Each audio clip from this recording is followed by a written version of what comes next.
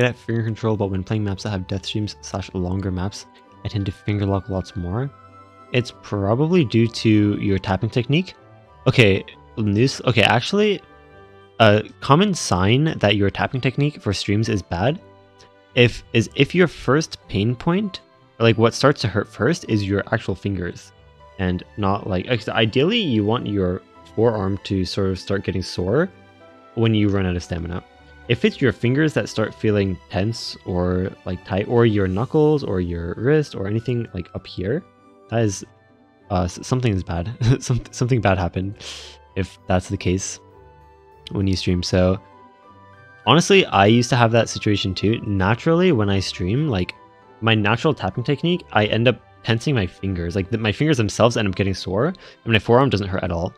But yeah, what you actually ideally want is to keep everything up here, your hand relaxed and your wrist relaxed, and just sort of try to move your fingers almost like automatically as relaxed as possible.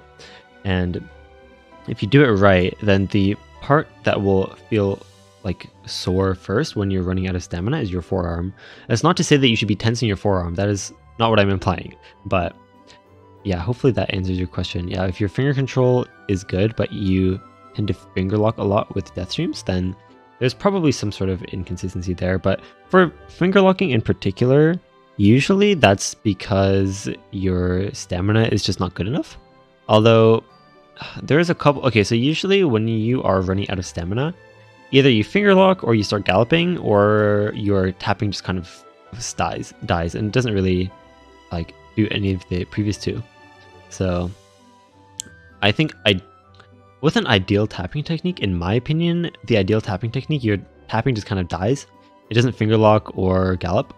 But yeah, hopefully that gives a clearer idea. It's probably something with your tapping technique, but if not, then also make sure you work on your raw stamina abilities as well.